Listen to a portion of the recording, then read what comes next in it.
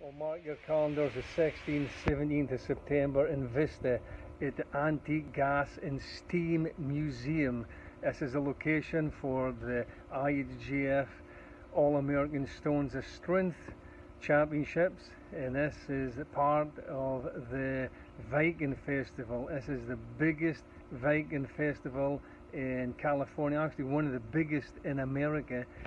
Two days of the festival, the Viking Festival in Vista, over 10,000 people will be coming to the festival and over the weekend the Saturday will be the men's IHGF All-American Stones of Strength Championships and on the Sunday will be the women's IHGF All-American Stones of Strength Championships.